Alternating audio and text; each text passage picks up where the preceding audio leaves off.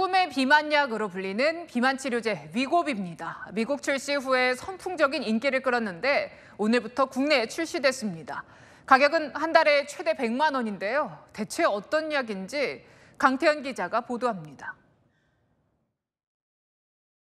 테슬라 CEO 일론 머스크가 14kg을 뺀 비결로 꼽은 덴마크 노보노디스크사의 비만 치료제 위고비. 머스크 외에도 오프라 윈프리, 킴 카다시안 등 해외 유명 인사들이 투약하는 것으로 알려진 위고비가 오늘부터 국내 판매를 시작했습니다. 펜 모양으로 생긴 주사기를 복부에 주사하는 방식인데 병원 처방을 통해 약을 받을 수 있습니다. 체중 감량 원리는 호르몬 작용입니다. 우리 몸은 음식을 먹으면 GLP-1이란 호르몬이 분비돼 포만감을 느끼게 되는데 위고비의 성분이 이와 비슷합니다. 주사를 맞으면 포만감이 생겨 식욕이 억제되는 겁니다. 임상시험 결과 68주를 사용하니 15% 정도 체중이 준 것으로 나타났습니다. 매일 주사해야 하는 삭센다와 달리 주 1회 주사하고 효과는 더 큽니다.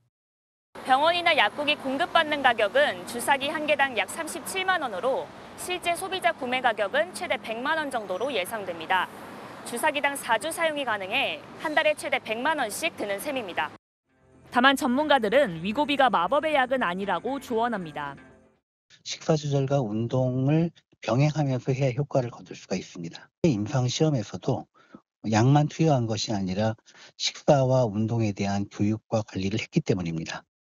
위고비 투약을 중단하면 다시 원래 체중으로 돌아갈 수도 있습니다. 또 부작용으로 구토나 설사, 두통 같은 증상이 나타날 수 있고 드물게 급성 췌장염이나 담낭 질환을 유발할 수도 있습니다.